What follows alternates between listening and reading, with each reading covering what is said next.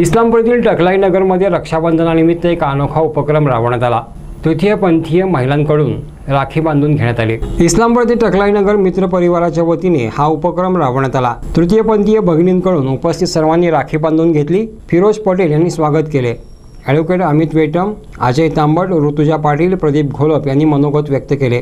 गीता पाटील राणी पाटील ऋतुजा पाटील किरण पाटील नेहा अत्तार हसीना जाधव अनिता कांबळे रोशनी पाटील या तृतीयपंथीय भगिनी या रक्षाबंधन सोहळ्यासाठी उपस्थित होत्या.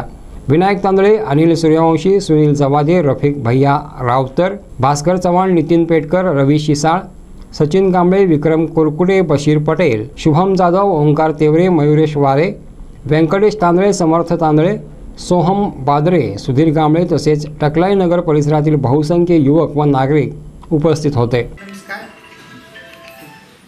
मी ऋतुजा पाटील पलूस सगळ्यांना मुख्य तर बोलायचं म्हटलं तर थँक्यू कारण आम्हाला एका मुख्य प्रवाहाचा घटक समजल्यामुळं सगळ्यांची मी एक आभारी आहे. आणि कुठेतरी समानतेची वागणूक मला तुमच्याकडून भेटते असं वाटतंय. आमच्या संघर्षाची सुरुवात अगदी लहानपणापासूनच सुरू आहे. इथपर्यंत की स्वतःला ओळखणं हेच आमच्यासाठी मुळता जरतात स्वतःला ओळखल्यानंतर आईबापांना ते पटवून देणं हे खूप मोठं आव्हान आणि खूप मोठा संघर्ष आहे. म्हणजे ज्यावेळेला ज्या वेळेला पटवून दिल्यानंतर आपली आई वडील आपल्याला आपलं आपत्य हे दुसरं काहीतरी आहे वेगळं काहीतरी आहे हे ऍक्सेप्ट करायला तयारच नसतं आणि त्याच्यामुळे आम्हाला घरातून बाहेर काढलं जातं. कुठंच गेलं समानतेची वागणूक नाही. समाजामध्ये जाणून बुजून आम्हाला डावललं जातं. ओळखीचे जरी लोक असतील तर एखाद्या वेळेस डावलून पुढे जातात. की हिला काय ओळख द्यायची? पाच दहा रुपये द्यावे लागतील. हा प्रत्येकाच्या मनातला प्रश्न असतो. पण तुमच्या पाच दहा रुपयावरती आमचं पोट चालतं.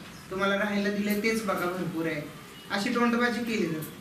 समाजातून खरंच तुमच्यासारख्या युवकांनी जे आज पाऊल उचलले की तृतीयपंथीयांना एक मुख्य प्रवाहात घ्यायचं किंवा त्यांना सन्मानाची वागणूक द्यायची ह्याच्याबद्दल मी खूप आभारी आहे तुमची. कारण आम्हा किन्नर बहिणींना आमच्यातली स्त्री हे कोणी ओळखूच शकत नाही त्यासाठी तुम्ही सगळ्यांनी पुढे येऊन हा कार्यक्रम घेतला त्याच्याबद्दल मी खूप खूप आभारी